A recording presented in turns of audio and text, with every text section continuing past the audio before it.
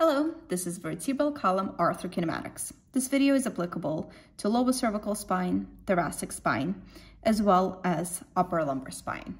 So let's take a look at movement in between joints in all four cardinal planes.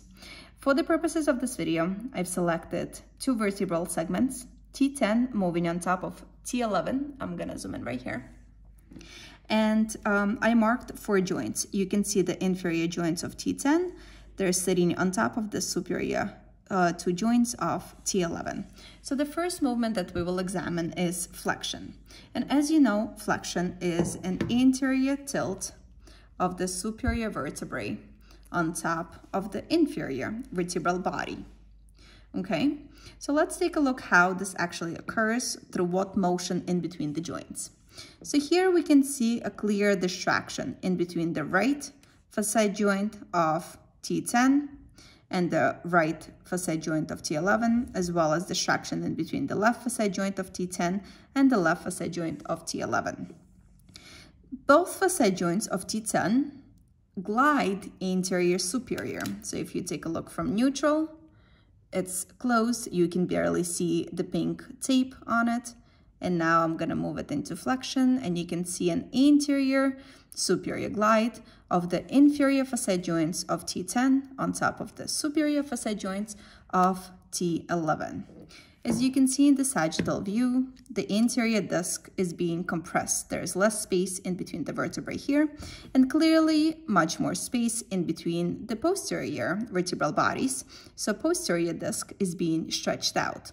So the nucleus will migrate from the area of high concentration to the area of low concentration. So it will migrate posterior. Okay, let's take a look at the opposite movement, which is extension. So we'll go from a flex position to extended position. As you can see, this movement is um, shown as a posterior, um, posterior roll of the superior body of the vertebrae on top of the inferior body of the vertebrae. So T10 body is rolling posterior on top of T11. Okay, let's take a look what happens in between the actual facet joints. So facet joints, you can see how they're approximated, right? So here in the flex position, they were far away, and now they're closer together, and you can barely see uh, the pink tape, right? The superior facet joints of T11. So what's actually happening is that T10, both facet joints of T10, move posterior inferior on the facet joints of T11.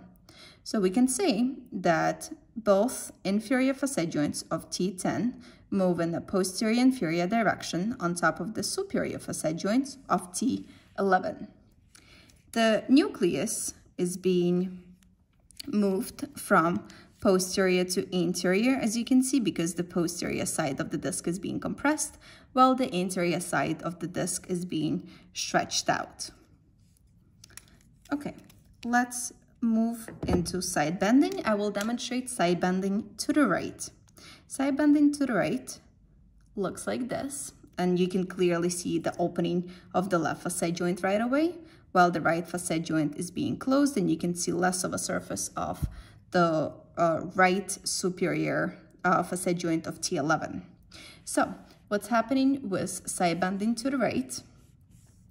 Um, left facet joint left inferior facet of T10 is performing an anterior superior glide on top of the superior facet joint of T11, while the right facet joint, inferior facet joint of T10 is moving into inferior posterior direction, as you can see, on top of T11. So posterior, inferior. Okay, well, this one the left one is moving anterior superior. Let's take a look at this side now.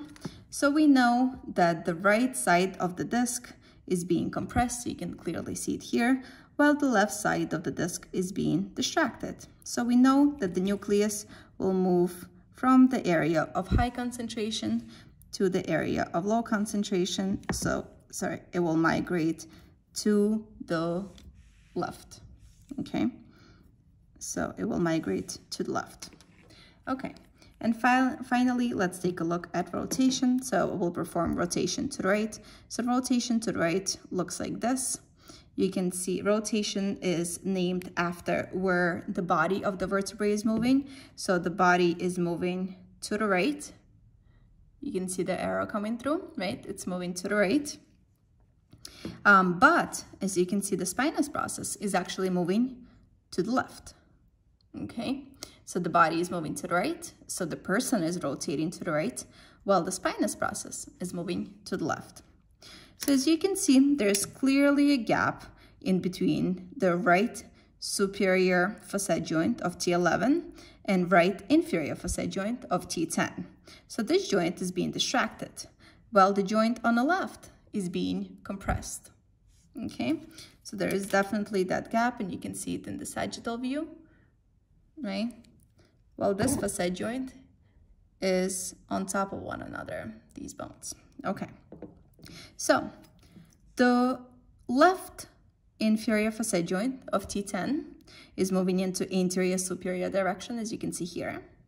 Well, the right facet joint of inferior facet joint of T10 is moving into inferior posterior direction on top of the superior facet joint of T11.